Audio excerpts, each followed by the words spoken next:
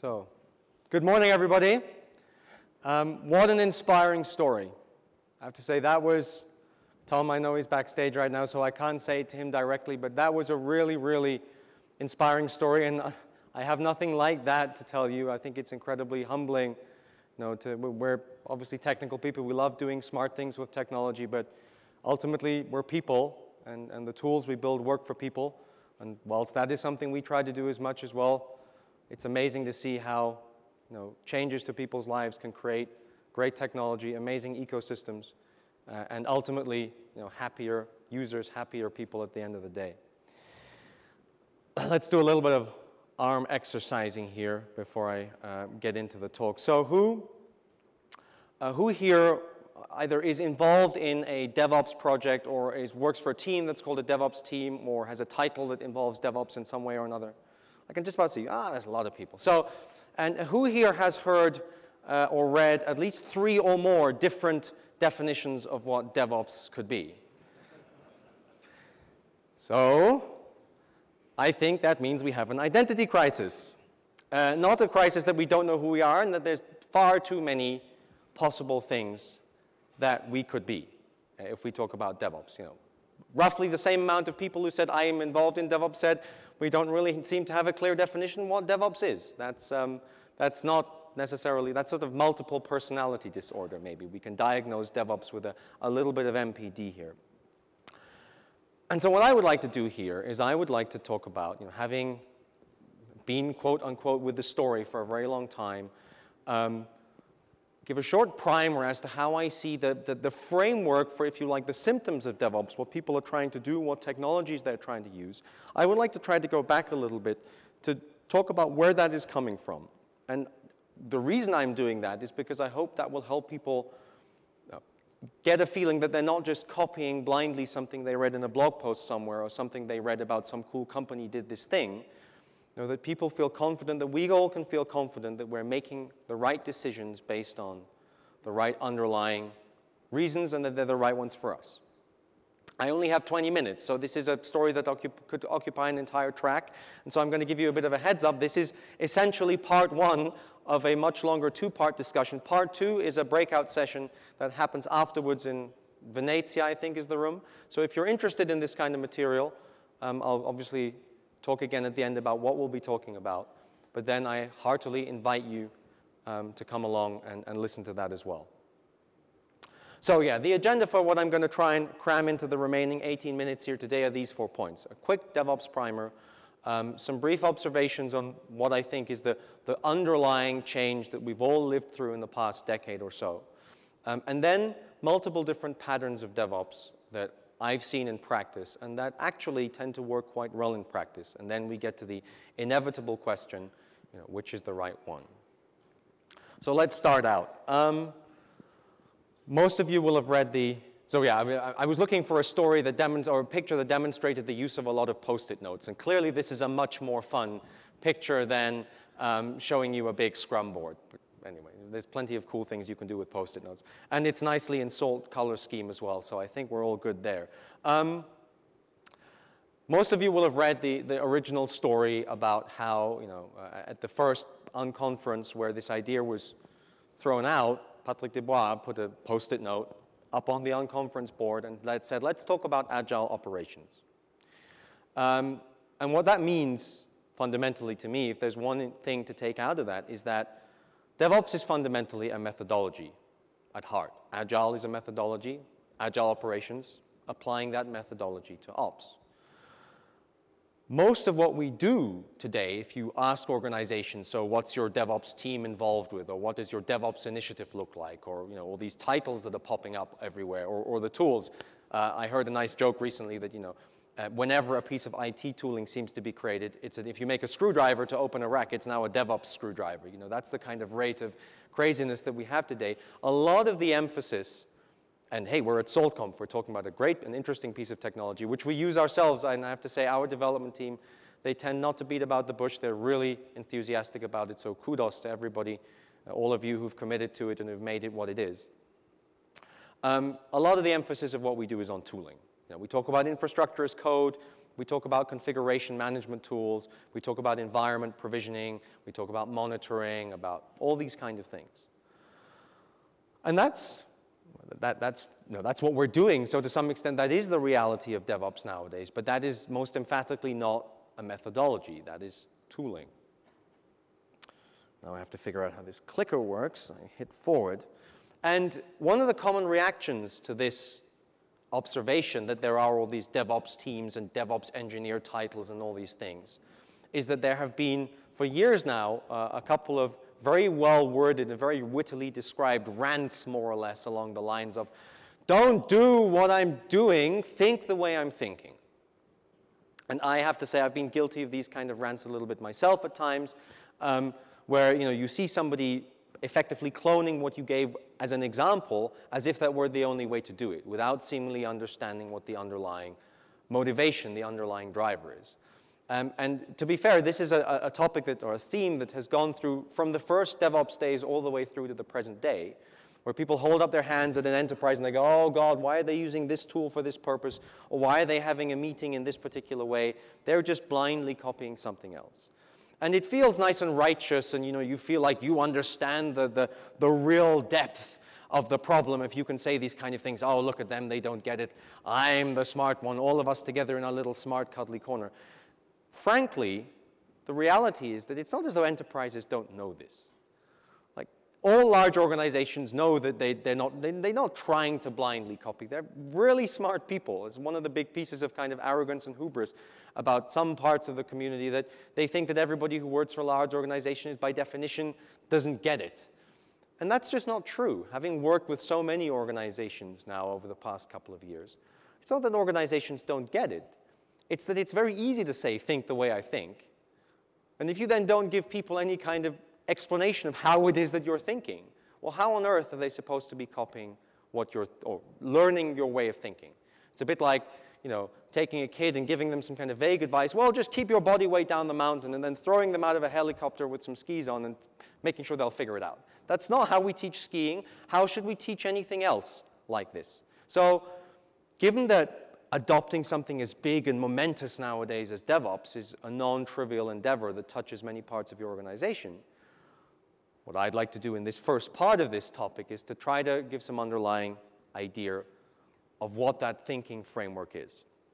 So the big change that I think we've all lived through is not the let's make these joined up teams and have big, you know, I don't know, team meetings together and then we'll all understand each other better. The big real change that we've lived through in this past decade is that working in operations has gone from hauling blades to writing code, largely. I remember the days when basically if you were doing a lot of the stuff was physical stuff. You would go into the data center, you would cable up stuff, you would move racks around, you would arrange cooling, you would order stuff, pull it out of boxes.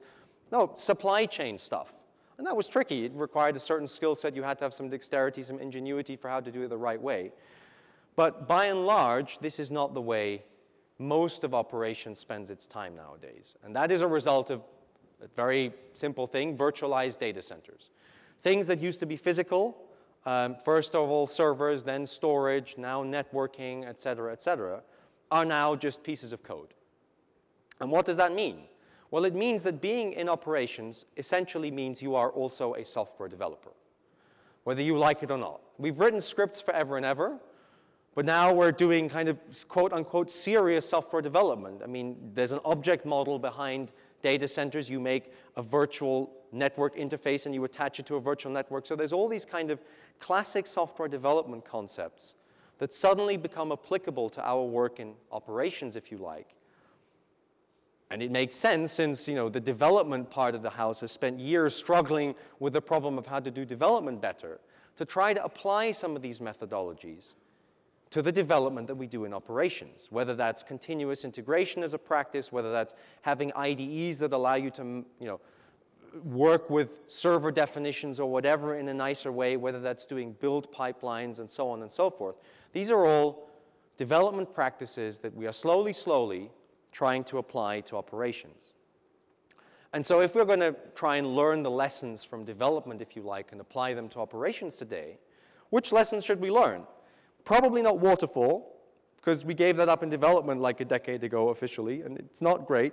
Cowboy coding, well, it's still pretty popular in development, but probably also not the best thing to do if you need to manage stuff at scale.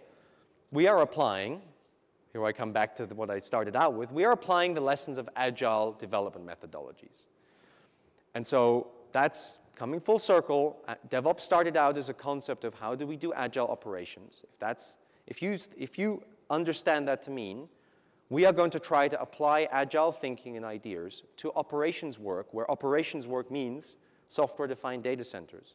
Then I think you have a good fundamental grasp of where a lot of these symptoms and practices and tools and so on are coming from. And so all the things that we always hear talked about, like regular communication, break things into smaller batches of work, don't try to do a million things at the same time, you know, have some kind of automated version strategy for testing the stuff that you're doing. That all explains itself very naturally if you think of DevOps as applying these kind of methodologies to operations work. So what happens when you do that? Now I need to start speaking faster because I'm running out of time. The natural, immediate conclusion of this is that you end up with two development departments in your organization. Uh, one might be outsourced, but in general, if you look at the, the overall pie that you're delivering, there's going to be two development teams working on it the app dev team, the dev dev team that delivers the, the business logic, if you like, and the application component, and the ops dev team that delivers a lot of the platform, infrastructure, runtime, whatever you want to call it, on which this stuff actually ends up running. This is a pretty easy model to adopt, initially anyway, because it, it reflects, you know, the dev dev part doesn't change, the ops dev part undergoes the same translation that I was just talking about, it becomes a development team. It respects existing organizational boundaries and structures and so on. Of course, these two teams somehow need to work together. So there needs to be some notion of a contract that links the two. Uh, because ultimately you need to put the pie together to hand it over to your customer so that they can eat it and say how nice it is. And most of the time, this contract takes the shape of a kind of runtime platform. It's an interface, a technical interface, a package definition, whatever you're going to call it, which is basically you give me whatever application code and configuration you want, put it here, and we will make sure it runs. And we will take care of all the boring operational stuff, such as monitoring, logging, scaling, et cetera, et cetera, traffic distribution. Now, the, the big untold secret is a lot of very, very well-known, highly sophisticated example cases of DevOps work exactly in this way. And that's not a problem. This is not necessarily the wrong way to do it. There are plenty of examples of Netflix, good example, for instance. The one thing that is required about this approach, though, is that this platform better be really, really good and really powerful.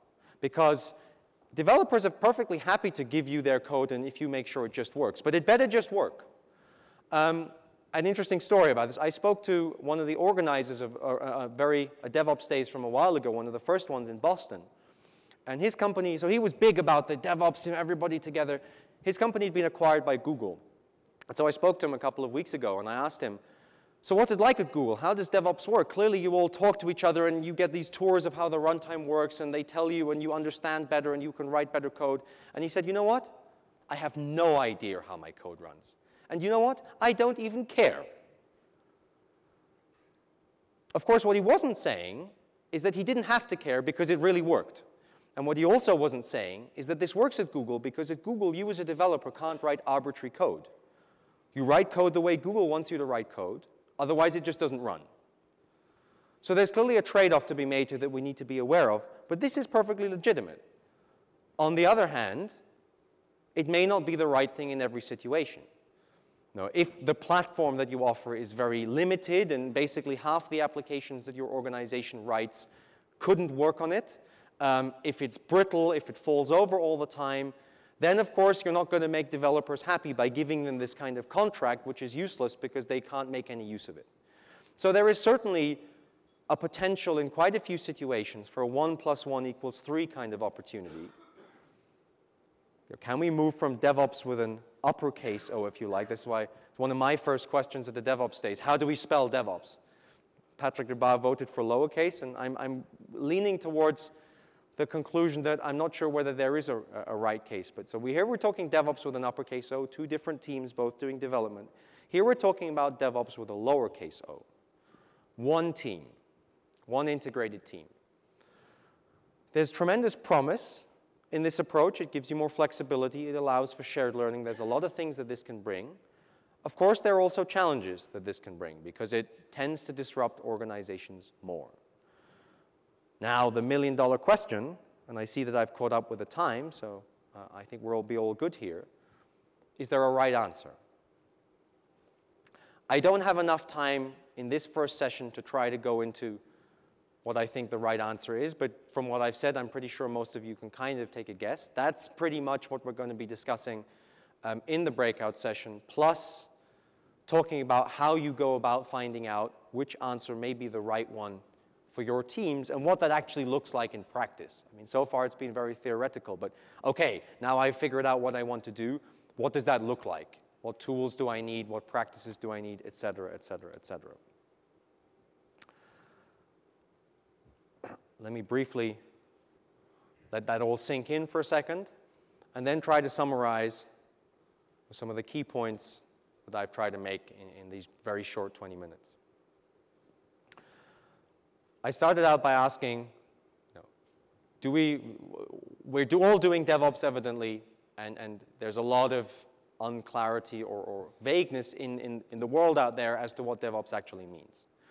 Um, and we, especially if we're working in enterprise environments, if we haven't been coming to this field for five, six, ten, whatever years, we can all feel much better if we feel that we are making the right decisions based on a sound underlying framework of understanding, rather than just copying bits and pieces of certain practices.